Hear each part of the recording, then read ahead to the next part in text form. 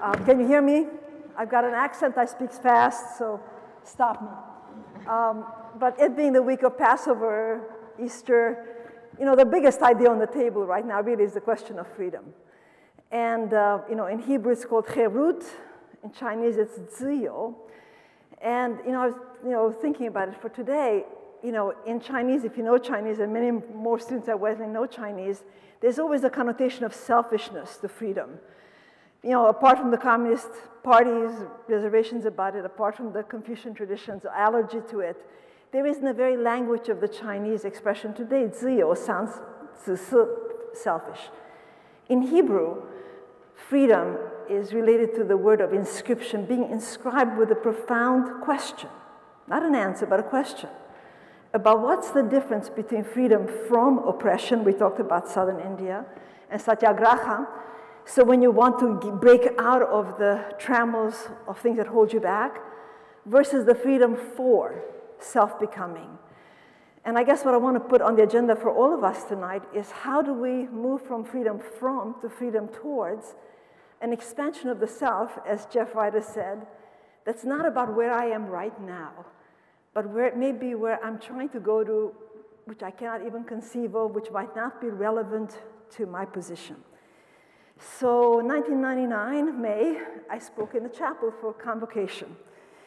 And it was a, an interesting moment for me because I'd just been in China, as I always am very frequently in May. And on May 9th in Beijing, I heard about the bombing of the, Ameri of the Chinese embassy in Belgrade.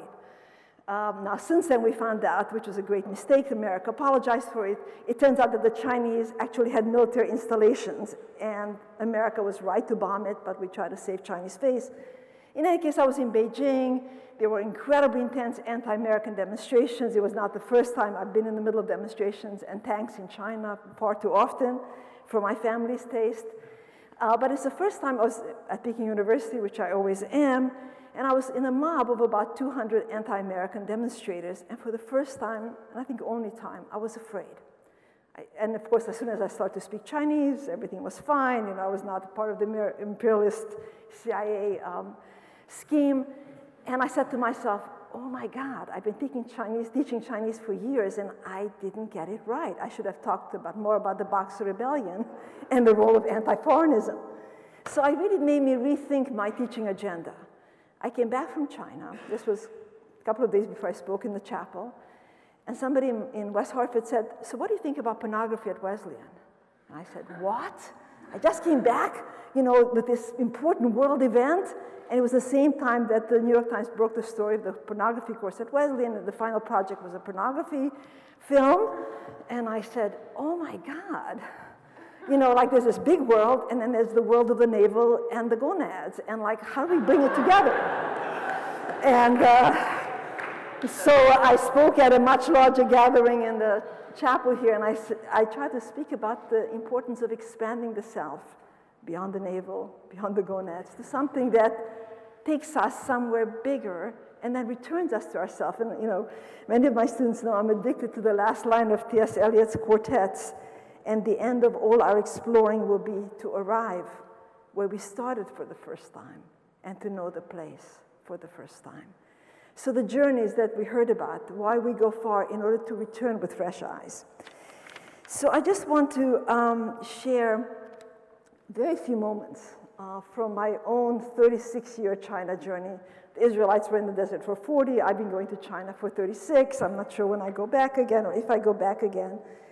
But when I look back to three and a half decades of China travel and China study, what sticks out to me is how much my China studies dislodged me from the comfort zone, for where I thought I started, for what I thought I knew.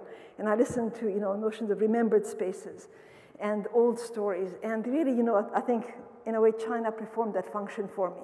So before I ever went to China, I had read the famous story by Lu Xun, China's foremost 20th century writer, can you hear me? I'm speaking too fast. Accent, I know. Uh, can you hear me? Okay.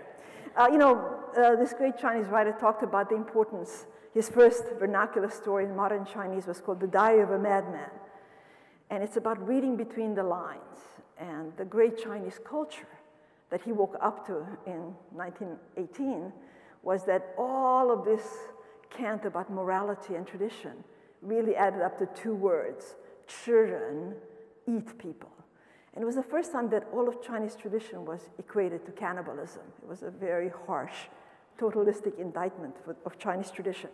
So I, you know, went to China very ready to read between the lines. I'd been to Taiwan. I read Lu Xun, you know, secretly. So I was really cool, and I was really, you know, anti-war movement, very, very um, activist. And my 36 years of travel to China have been a constant undressing of my preconceptions and the need to really listen, to really read between the lines, not the way I did in 1970, early 70s in Taiwan, when I thought, you know, that I knew Sartre and Gramsci, and therefore I understood China. But when I left theory behind and started to listen, and oddly, what I began to hear was my parents' story.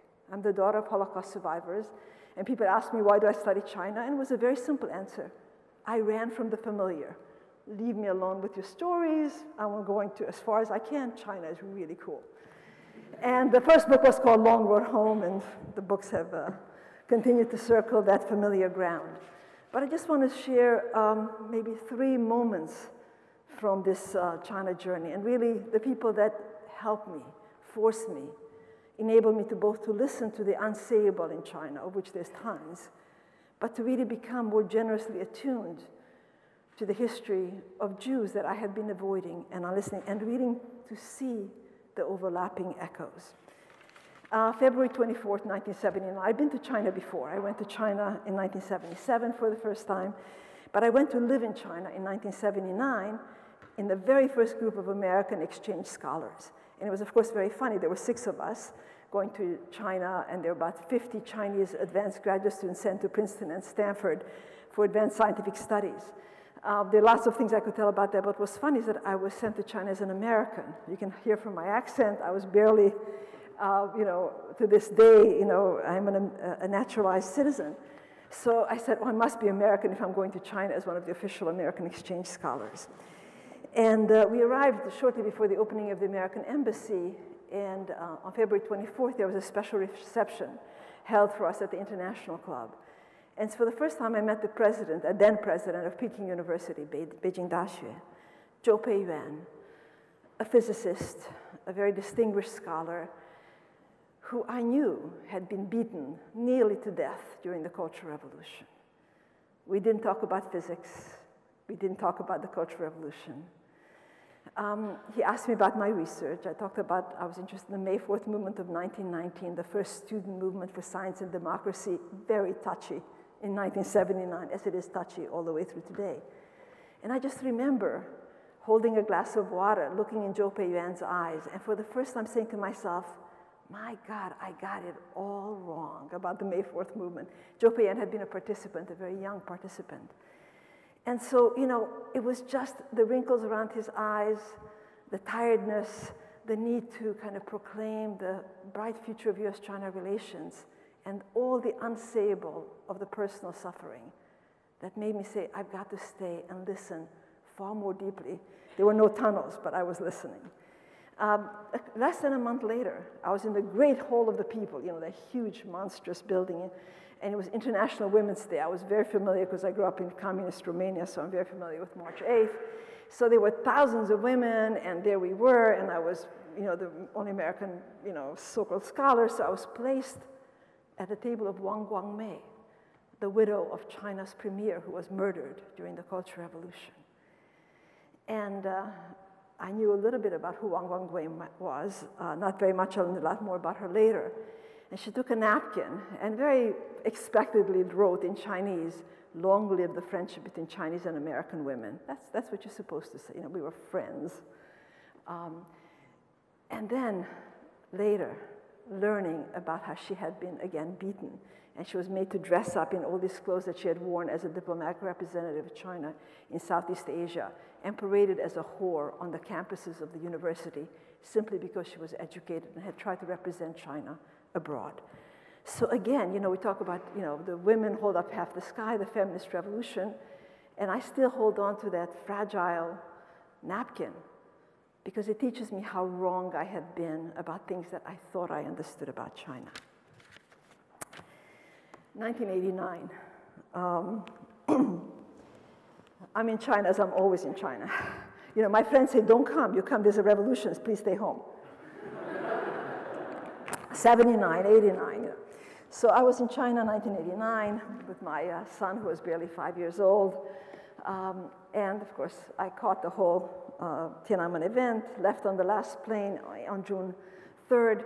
But on May 20th, 1989, I was invited long before I'd been invited to a conference to mark the 80th anniversary, birthday of a very eminent philosopher called Zhang Dainian at China's premier uh, MIT Tsinghua University.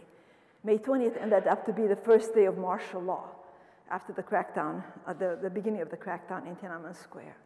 So instead of hundreds and thousands of people that had been expected at this uh, very distinguished conference, there were 20 of us. The buses couldn't run.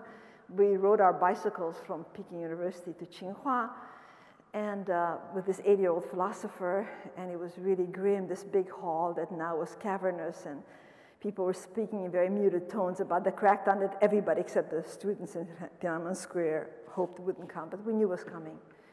And on the way back to the university, Ramdas turned to me and said, You know, you are Jewish and I'm Chinese, and between us, Zaman Yo Yin, it's a very Chinese expression which means between us there is the sound of unsayable, unmentionable music.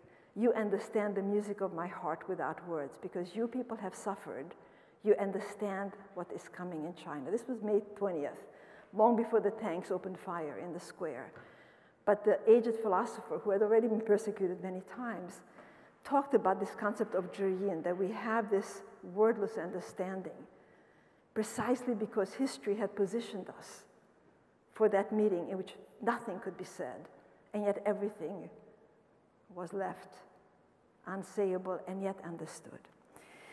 Um, 12 years later, chairman of history department Wesleyan. Oh, God help me. that was the worst. And that really was the worst. You know, I've, I've, been director of the Freeman Center. That's piece of cake. Chair of history department is dreadful. Um, and, you know, I don't listen to radio, I don't watch TV, I'm listening to my books on tape, you know, I'm coming to school, I go upstairs, and somebody says, all the secretaries are crying. It's September 9th, 19, 2001. And I said, what were the secretaries crying?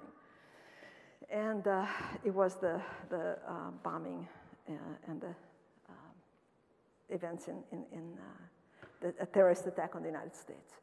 I remember, first of all, talking to the president of Wesleyan, go out into the public and meet the students the president of Wesleyan then, it wasn't Michael Roth, stayed in meetings all day, never went out into public to meet with the students. The students were freaked out. I called up mental health. I said, we have to have some kind of public, you know, resources. Students have, you know, parents in New York. It was a, a really horrific, uh, to my mind, mishandling of Wesleyan's uh, reaction to historical trauma.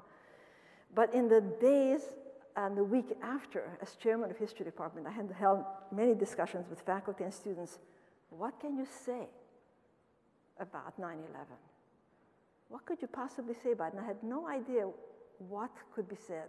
I'd already spent all these decades with the unsayable in China. I developed a lexicon, some poetic, some not so poetic, for words that have no room for word. But at that point, I really was um, horrified. And what I decided is to put on my door the fragment of a poem by Primo Levi, which is where I want to end with tonight. Primo Levi was a chemist, an Italian chemist who was incarcerated in Auschwitz. And um, six years before he committed suicide in 1987, he wrote a poem called Voices. And, you know, it's a poem that since 9-11 through today really speaks to me. And I guess if, you know, there's a charge I want to leave you with, it's embedded in this poem by Primo Levi. Voices mute forever, or since yesterday, or just stilled, if you listen hard, you can still catch the echo, hoarse voices of those who can no longer speak, voices that speak and can no longer say anything, voices that speak and cannot be understood, salt words, words. The place we are going is silent. You will have to run the last lap deaf. And it made me think of the Chinese human rights activist Chen Guangcheng, blind, running blind, escaping from his horrific incarceration and, and, and persecution in Shandong.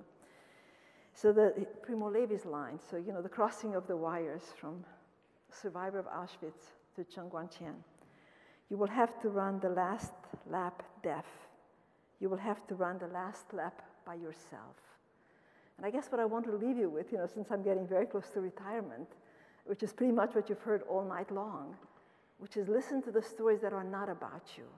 Be patient enough to rest with silence, with words that seem to say nothing, with words that seem circuitous, that dance around the subject. You know, I had a moment in my class discussion today that I was, you know, awesome, and yet, you know, I, you know, where Chinese students said a little bit too much, and I was so worried for her. What will be the consequences of putting it out there too explicitly? Because I still worry about the consequences. So I guess I leave you with you will have to run the last lap by yourself. Thank you.